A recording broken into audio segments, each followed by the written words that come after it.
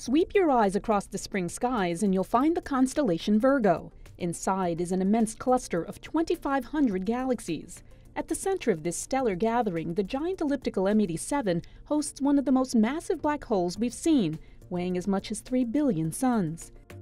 Shooting away from the black hole is a 5,000 light year long jet of high speed gas and radiation.